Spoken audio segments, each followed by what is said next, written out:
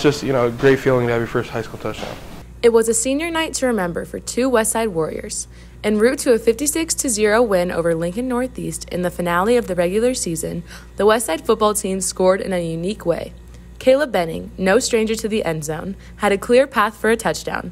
But before he crossed the goal line, he decided to hand the ball off to his teammate RJ Eckhart so he could score his first touchdown of his career. We talked about that earlier in the week, him scoring for senior night, and uh, I had got an interception earlier in the game and but I couldn't find him. So on the punt return, once I saw I was going to score, I started looking for him, and I got him the ball.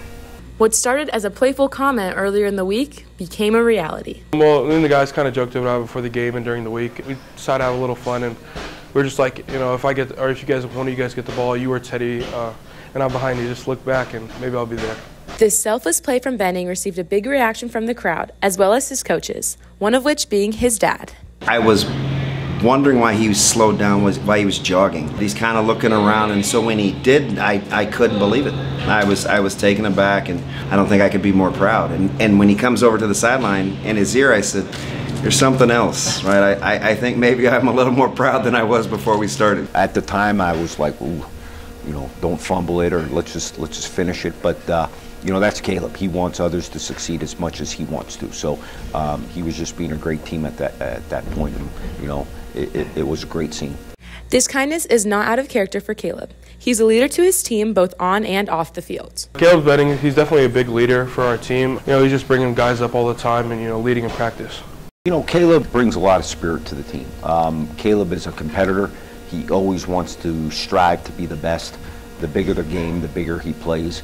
He just has a, you know, a fortitude in him that, that he, he wants to excel. And the great thing about it is he wants others around him to excel as well. The play was just the beginning of a monumental weekend for Caleb as he announced he would be continuing his football career as a Husker at the University of Nebraska Lincoln. I feel great. Um, I definitely say less pressure just knowing that I made my decision and I feel great in my choice. The staying close to family factor definitely played a big role, but um, also what Coach Rhule is doing.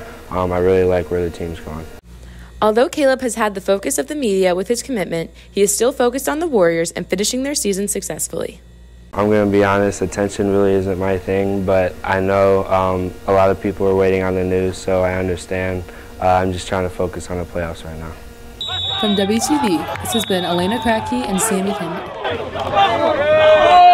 Go! Go!